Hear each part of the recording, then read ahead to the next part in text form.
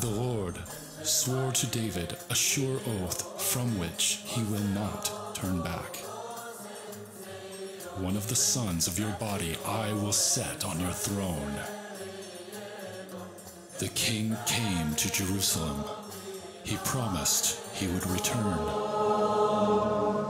When the Son of Man shall come in his glory and all the holy angels with him, then shall he sit upon his glorious throne.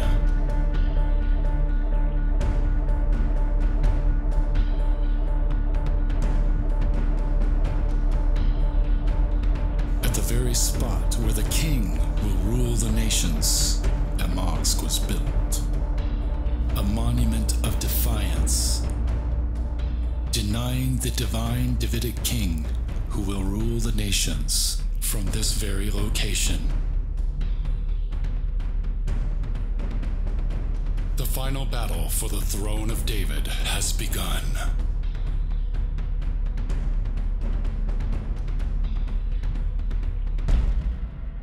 People of Egypt have spoken, their voices have been heard, and Egypt will never be the same.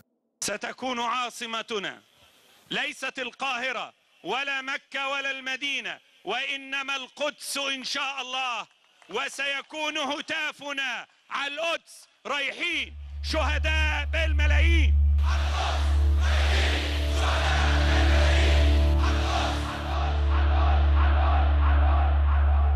Jerusalem, where David was promised a throne, is the very place where a false ruler will seek to overturn that promise.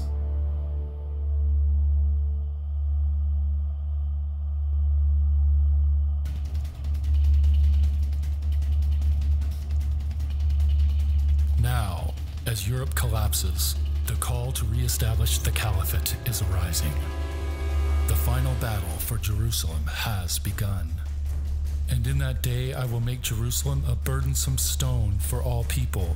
All that burden themselves with it shall be cut in pieces, though all the people of the earth be gathered together against it. Zechariah 12, verse 3.